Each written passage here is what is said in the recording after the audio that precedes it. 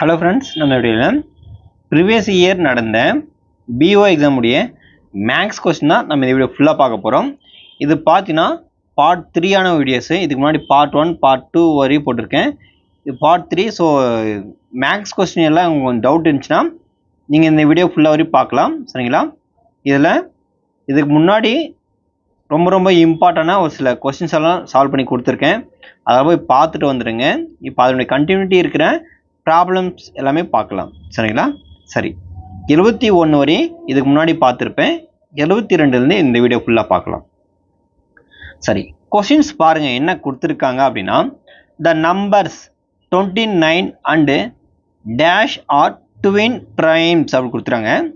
So தமிழில் questions என்ன இருக்குன்னா இருபத்தி ஒன்பது மற்றும் டேஷ் ஆகிய எண்கள் இரட்டை பகா எண்கள் ஆகும்னு கேட்டுக்கிறாங்க. சரிங்களா?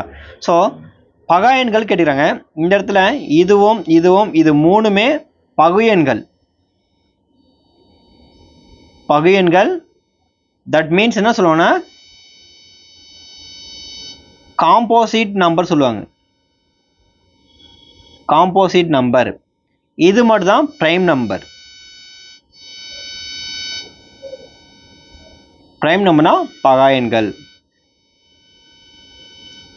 அப்போ இதுக்கான ஆன்சர் பார்த்தீங்கன்னா ஏ ஆப்ஷன் தான் கரெக்டு இந்த இடத்துல பகா எண் அப்படின்னா என்னன்னா ஒரு எண் தன்னாலும் ஒன்னாலும் அதாவது அந்த ஒரு நம்பர் அதே நம்பராலையும் ஒன்னால் டிவிசிபிள் ஆனால் அதுக்கு பேர் ப்ரைம் நம்பர் இல்லைன்னா பகா எண்கள்னு சொல்லலாம். சரிங்களா? ஸோ அப்போ இதுக்கான ஆன்சர் முப்பத்தி ஒன்றுன்றது சரியாக விட சரி.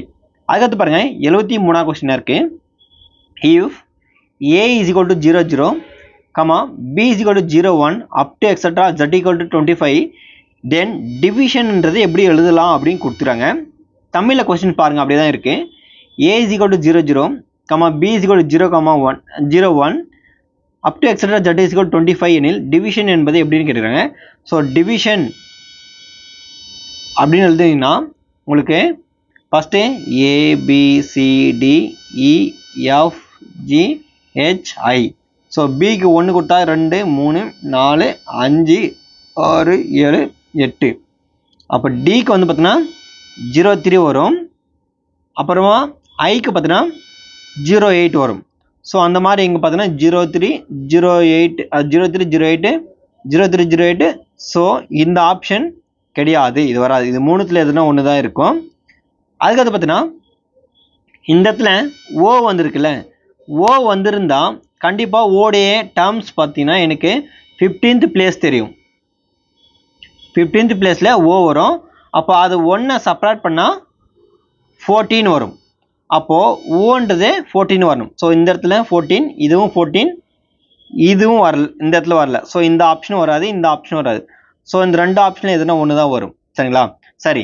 அதுக்கடுத்து பார்த்தீங்கன்னா இப்போது என் சரிங்களா? எம் என் ஓ அப்போ ஓ வந்து ஃபோர்டீன் இருந்தால் என் வந்து என்னக்கும்? தேர்ட்டீனாக தான் இருக்கும். சரிங்களா? அப்போது இந்த இடத்துல இதுவும் தேர்ட்டின் தான் இருக்குது இதுவும் தேர்ட்டின் தான் இருக்குது சரிங்களா? அப்போது நம்ம அதுக்கு முன்னாடி இருக்கிற ஒரு லெட்டர்ஸ் வந்து செக் பண்ணணும். ஸோ அதுக்கு முன்னாடி இருக்கிற லெட்டர்ஸ் பார்த்தோன்னா ஐ ஐ தான் இருக்குது ஐ வந்து என்ன இருக்குது ஆல்ரெடி எயிட் வந்திருக்கு. அப்போது அந்த இடத்துல எயிட் வரும்னா இந்த இடத்துல எயிட் வந்திருக்கு. மற்றது எல்லாமே பாருங்கள் இந்த இடத்துல எயிட் வந்திருக்கு. இது வராது. ஆனால் நம்மளுக்கு இந்த இடத்துல எயிட்டின் வந்திருக்கு. அப்போ இது வராது. ஸோ ஆப்ஷன் ஏ தான் இதுக்கான ஆன்சர் ஸோ அந்த இடத்துல நீங்கள் பிளேஸ் மாதிரி எழுதிட்டு வந்தீங்கன்னா அது கொஞ்சம் ஈஸியாக இருக்கும். நீங்கள் எழுதி ஐடென்டிஃபை பண்ணிடலாம். ஜஸ்ட் நான் எனக்கு தெரிஞ்ச நம்பர் வச்சு நான் ஜஸ்ட் மூவ் பண்ண அவ்வளோதான் சரிங்களா? ரொம்ப ரொம்ப ஈஸியான கொஸ்டின் தான் இது. அதுக்கு அடுத்த கொஸ்டின்ஸ் பார்க்கலாம். செவன்ட்டி ஃபோர்த் கொஸ்டின்ஸ் இது ரொம்ப ரொம்ப ஒரு ஈஸியான கொஸ்டின்ஸ் இது ஒரு ஸ்டாண்டர்டான கொஸ்டின்ஸும் கூட நம்ம சொல்லலாம்.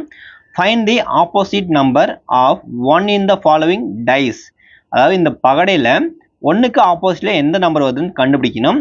கொடுக்கப்பட்டுள்ள பகடையில் ஒன்றுக்கு எதிரே உள்ள எண் என்னன்னு கேட்குறாங்க இந்த மாதிரி பார்த்தீங்கன்னா இந்த இடத்துல பார்த்தீங்கன்னா அஞ்சு ஆறு நாலு இந்த இடத்துல ஒன்று ரெண்டு மூணு ரெண்டு அது மூணு ஆறு ரெண்டு இருக்குது இந்த மாதிரி இருக்குது இதில் நிறைய டைப் இருக்குது ஒரு மூணு டைப் ஆஃப் டைஸ் இருக்குது அந்த டைஸை பேஸ் பண்ணி நான் சம்ஸே வரும். பட் ஆனால் இந்த இடத்துல பார்த்தீங்கன்னா ரெண்டு நம்பர் சேமாக வந்திருக்கு. இங்கே பாருங்கள் மூணு மூணு வந்திருக்கு. ரெண்டு ரெண்டு வந்திருக்கு. ஸோ கம்பல்சரி பார்த்தோன்னா ஒன்றுக்கு ஆப்போசிட்டில் சிக்ஸ் தான் வருமே. அது டெஃபினட்டாகவே ரெண்டு நம்பர் சேமாக இருந்தால் அதுக்கப்புறம் என்ன நம்பர் இருக்கோ ஸோ அதனுடைய ஆப்போசிட் அந்த நம்பராக இருக்கும். ஸோ இதுக்கு ஒன்றுக்கு ஆப்போசிட்டில் சிக்ஸ் தான்.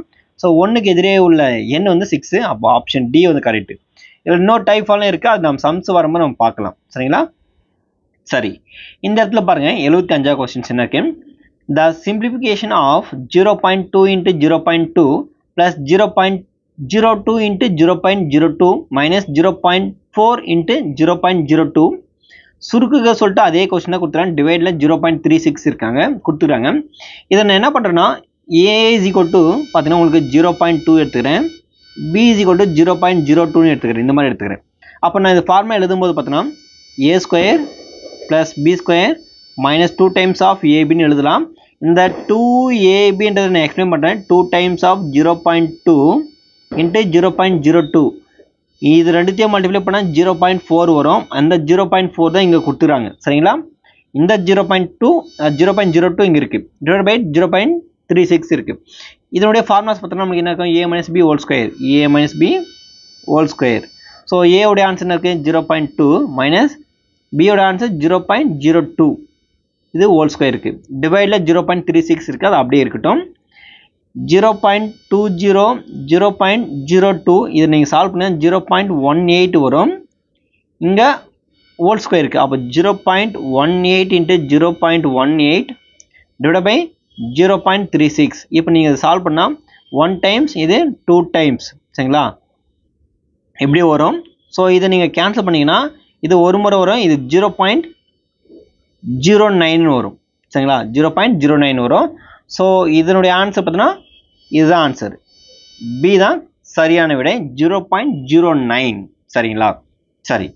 அதுக்கடுத்து பாருங்கள் எழுபத்தி ஆறாவது கொஸ்டின்ஸ் இது ஒரு முக்கியமான கொஸ்டின்ஸும் கூட. இது ஜென்ரலாக நம்ம தியரிட்டிக்கலாக படிக்கும்போது சில கான்செப்ட் வந்திருக்கும். அந்த மாதிரி தான் A pictograph is also known as என்னன்னு கேட்டிங்கன்னா இது பிக்டோகிராம் தான் சொல்லுவாங்க. சரிங்களா? ஸோ பட விளக்கப்படத்தை ஆங்கிலத்தில் டேஷ் எனவும் அழைக்கலாம் கொடுத்துறாங்க பிக்டோகிராம் தான் சொல்லுவாங்க சரிங்களா? அப்போ ஆப்ஷன் பி தான் சரியான விடை பிக்டோகிராம் பிக்டோகிராம் அது அவ்வளோதான் சரிங்களா? டேட்டா ஒரே ஒரு ஸ்டேட்மெண்ட் கொஸ்டின் தான் இது. இது செவன்த்தில் எயித்தில் அந்த மாதிரி சம்ஸ் வந்து நீங்கள் பார்ப்பீங்க சரிங்களா? சரி அதுக்கடுத்து பாருங்கள் எழுபத்தி ஏழாவது கொஸ்டின்ஸ் என்ன இருக்கு? Simplify x plus two divide by four y division x square minus x minus six divide by twelve y square இருக்குது ஸோ இந்த ஈக்குவேஷன் என்ன பண்ணுறேன் கொஞ்சம் ரீப்ளேஸ் பண்ணி எழுதுறேன். X plus two divide by four y equation வந்து இந்த இடத்துல டிவைட் டிவைட் மல்டிப்ளை பண்ணால் ஸோ அந்த ரெசிப்ரோக்கல் டேர்ம்ஸாக மாறிடும். அப்போ x square minus x minus six இந்த மாதிரி வரும். ஸோ இது அகைன் ஒன்ஸ் அகைன் நான் என்ன பண்ணி எழுதுறேன்னா ஃபேக்டராக பண்ணி எழுதுகிறேன் இது டுவெல் ஒய் ஸ்கொயர் அப்படியே இருக்கட்டும். இது மட்டும் பார்த்தீங்கன்னா த்ரீ டூ சார் சிக்ஸ் வந்துடுது இந்த இடத்துல மைனஸ் கொடுங்க இங்கே ப்ளஸ் கொடுங்க அப்போ மைனஸ் ஒன்று வந்துடும் ஸோ இந்த கான்செப்ட் படி இது கரெக்டாக இருக்குது அப்போ x minus three x plus two so இந்த எக்ஸ் ப்ளஸ் டூ இந்த எக்ஸ் ப்ளஸ் டூ கேன்சல் இந்த ஒய்க்கு இது கேன்சல் பண்ணால் ஒரு ஒய் இருக்கும் பெண்டிங்கில் இது ஒரு முறை இது மூணு முறை. அப்போ three y divide by x minus த்ரீன்ட்டு தான் answer so three y divide by x minus three option A தான் சரியான விடை. சரிங்களா? சரி. அதுக்கடுத்து பாருங்கள் எழுபத்தி எட்டாவது கொஸ்டின்ஸ் என்ன இருக்கு? இஃப் n ஒரு பாஸ்ட் n is positive integers then GCD of n comma n plus one is கேட்குறாங்க ஸோ கொஸ்டின்ஸ் தமிழ் என்ன பாருங்க எனக்கு என் n ஒரு மிகைமொழி எண் எனில் மீ போ வா மீச்சிறு பொது வகுத்தி n comma n plus one ஆனது எப்படி இருக்கும்னா இப்போ ஃபார் எக்ஸாம்பிள் என்னன்றது ஒரு ஏதோ ஒரு நம்பர் பாசிட்டிவ்னு சொல்லிட்டாங்க. இப்போ நான் என்னக்கு நான் ஒன்று கொடுக்குறேன்னா என் ப்ளஸ் ஒன் என்னக்கு ஒன்று கொடுத்தான்னாக்கா இது ரெண்டாக மாறும். சப்போஸ் ரெண்டு கொடுத்தா இது மூணாக மாறும். சப்போஸ் இது வந்து நான் நாலுன்னு கொடுத்தா இது அஞ்சாக மாறும். ஸோ இதுக்கு எல்லாத்துக்கும் பார்த்தீங்கன்னா ஹெச்சிசிஎஃப் என்ன வரும் பார்த்தீங்கன்னா உங்களுக்கு ஜென்ரலாக ஒன்று தான் வருமே. ஸோ அதுக்கான ஆன்சர் பார்த்தீங்கன்னா ஆப்ஷன் சி தான் சரியான விட ஒன்று ரொம்ப ரொம்ப ஈஸியான கொஸ்டின் தான் இது சரிங்களா? சரி. அதுக்கடுத்து பாருங்கள் எழுபத்தி ஒன்பது கொஸ்டின்ஸ் என்ன இருக்குது what is the greatest number that will divide sixty two seventy eight and one zero nine leaving remainder two three and respectively அப்படி கேட்டுக்கிறாங்க. ஸோ இந்த இடத்துல கொஸ்டின்ஸ் என்ன இருக்கு பாருங்க. அறுபத்தி ரெண்டு கமா எழுபத்தெட்டு மற்றும் நூற்றி ஒன்பதை வகுத்து முறையே ரெண்டு கமா மூணு மற்றும் நாலை மீதிகளாக கொடுக்கும். மீ பெரு பொது காரணி எதுன்னு கேட்டுக்கிறாங்க. சரிங்களா? அதாவது இந்த இடத்துல நீங்கள் எல்லாத்தையும் டிவிசிபிள் பண்ணால் உங்களுக்கு பார்த்தீங்கன்னா டூ த்ரீ ஃபோர்னு வரணும் அப்படின்னு சொல்லியிருக்காங்க. ஸோ சிக்ஸ்டி டூன்னு எடுத்துக்கிறேன். இது பார்த்தீங்கன்னா ஃபார் எக்ஸாம்பிள் டைரெக்டாகவே நம்மளுக்கு ஆன்சர் தெரியுன்றது நம்ம ஒன்று ஒன்றா போட்டு பார்க்கணும். பட் இருந்தாலும் நமக்கு தெரியுன்றதான் டைரெக்டாக நான் அப்ளை பண்ணுறேன் இருந்தால் உங்களுக்கு போட்டு காமிக்கிறேன். இப்போ நான் டோலால் மல்டிப்ளை பண்ணுறேன் டிவிஷன் பண்ணுறேன்னு வச்சுக்கலாம் for example twelve five are sixty இது என்ன இருக்கும்? டூ வரும். சரிங்களா? பட் டூ ரிமைண்டர் கிடைக்குது. பட் ஆனால் அதே நான் பார்த்தீங்கன்னா உங்களுக்கு நான் டோலால் அது செவன்ட்டி எயிட்டை டிவைட் பண்ணும்போது ஸோ த்ரீ கிடைக்குதான்னு செக் பண்ணணும் சரிங்களா? செவன்ட்டி எயிட்டை டுவெலால் டிவைட் பண்ணும்போது twelve five are sixty twelve six are seventy two வரும். சரிங்களா? So twelve six are seventy two அப்படின்னா வரும்? சிக்ஸ் வரும். ஸோ இந்த கான்செப்டை இங்கே சாட்டிஸ்ஃபை பண்ணல. அப்போது பன்னிரெண்டு வராது. சரிங்களா? ஸோ முப்பது பார்த்தீங்கன்னா கண்டிப்பாக இதிலலாம் சாட்டிஸ்ஃபைடே ஆகாது வராது. ஸோ டேட்டா பார்த்தீங்கன்னா ஃபிஃப்டின் தான் உங்களுக்கு ஆன்சராக வரும். நீங்கள் வேணால் ஃபிஃப்டின் எடுத்து பாருங்களா சிக்ஸ்டி டூ எடுத்து நீங்கள் ஃபிஃப்டினால் மல்டிப்ளை பண்ணி பாருங்கள் டிவிஸ் டிவிசிபிள் பண்ணி பாருங்கள் இது ஃபோர் டைம்ஸ் வரும் சிக்ஸ்டி டூ இது வரும் டூ ரிமைண்டர் வருது. அதே மாதிரி பார்த்தீங்கன்னா செவன்ட்டி எயிட் பார்த்தீங்கன்னா உங்களுக்கு ஃபிஃப்டீனால் பண்ணிங்கன்னா உங்களுக்கு ஃபைவ் டைம்ஸ் செவன்ட்டி ஃபைவ் வரும். ரிமைண்டர் த்ரீ வந்துடுது அடுத்து ஒன் ஜீரோ நைன் பார்த்தீங்கன்னா உங்களுக்கு ஃபிஃப்டினால் பண்ணும்போது பார்த்தீங்கன்னா உங்களுக்கு seven times of one zero five வரும். ஸோ இது வந்து ஃபோர் வந்துடுது இந்த மாதிரி வந்துடும் அப்போ அதுக்கான ஆன்சர் வந்து இது இருக்கும்? ஸோ ஃபிஃப்டின் தான் சரியான விடை. ரொம்ப ரொம்ப எளிமையான ஒரு கொஷின் தான் இது. சரிங்களா? ஸோ ரொம்ப ரொம்ப ஈஸியான ஒரு கொஸ்டின் இதுக்கு ஆன்சர் வந்து டி ஃபிஃப்டின் தான் ஆன்சர் சரி அதுக்கடுத்து பாருங்க. இந்த கொஸ்டின்ஸ் கொடுத்துருக்காங்க. எண்பதாவது கொஸ்டின் தான் கொடுத்துருங்க ஸோ அதுக்கப்புறம் பார்த்தீங்கன்னா இது எல்லாமே சைக்காலஜி கொஸ்டின்ஸ் இது மட்டும் பார்க்கலாம். இங்கே என்ன இருக்குன்னா find the area of the shaded part of the following figure கொடுத்துறாங்க இப்போது பின்வரும் படத்தில் நிழலிடப்பட்டுள்ள பகுதியினுடைய பரப்பளவை வந்து கண்டுபிடிக்கணும் அப்படின்னு சொல்லியிருக்காங்க. சரிங்களா? சரி. இப்போ என்ன பண்ணணும்னா இந்த இடத்துல இது ஒரு ஸ்கொயர் மாதிரி கொடுத்துறாங்க. இந்த ஸ்கொயரில் இப்படி இருக்குன்னு வச்சுக்கலாம். இப்படி இருக்கு. இதில் ஓவரால் வேல்யூஸ் சரிங்களா? ஏ ஸ்கொயர் தான் இதனுடைய. ஸ்கொயர்னாவே ஏ ஸ்கொயர் ஃபார்மா அப்போது டென் இருந்தால் டென் இன்ட்டு டென் வந்து ஹண்ட்ரடுன்னு கிடச்சிடுச்சு. சரிங்களா? பட் அவங்க என்ன கேட்டிருக்காங்கன்னா அந்த ஷேடட் ரீஜனுடைய ஏரியாவுடைய வேல்யூ தான் கேட்டுக்கிறாங்க. சரிங்களா? ஸோ இந்த இடத்துல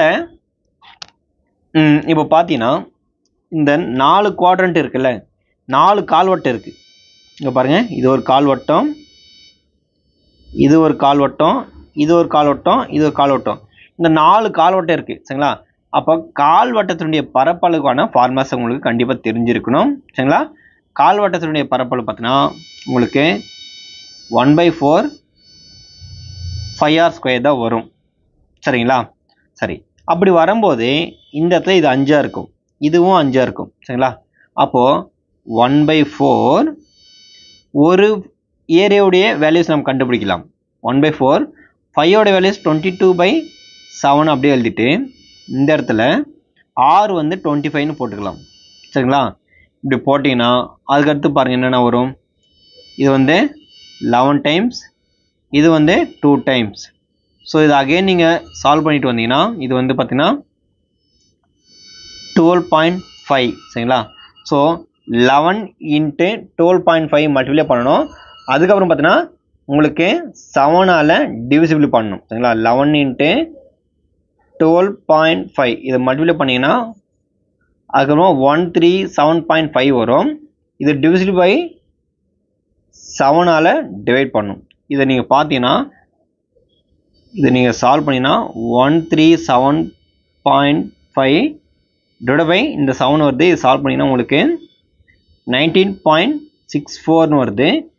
இதனுடைய ஆன்சரோட நம்ம என்ன பண்ணோம்? ஃபோர் டைம்ஸ் ஆஃப் அதனுடைய வேல்யூஸ் சரிங்களா? அப்போது nine nineteen nineteen point four into four times பார்த்தீங்கன்னா இன்ட்டு ஃபோர் டைம்ஸ் பார்த்தீங்கன்னா உங்களுக்கு செவன்ட்டி செவன் பாயிண்ட் சிக்ஸ்னு வரும் சரிங்களா?